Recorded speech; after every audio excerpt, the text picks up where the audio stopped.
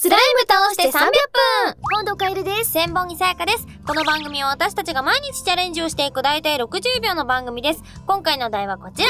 二人で半分こチャレンジほということで、コップに入ったお水を半分になるように分けたいと思います。誤差 10g でクリアとなるんですが、違うコップが並んでるんだよね。そう同じ大きさじゃなくてさそう、、太さも、そうそう、高さも形も違うからさ、いや、これ 10g これ超むずといえど。いよね。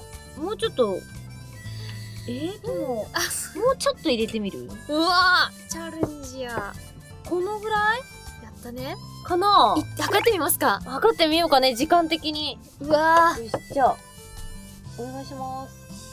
ーまず、111。片方が 111g、もう片方は、頼む !101 なら。191。全然違う全然違うで失敗でした。また明日も聞いてね。バイバイ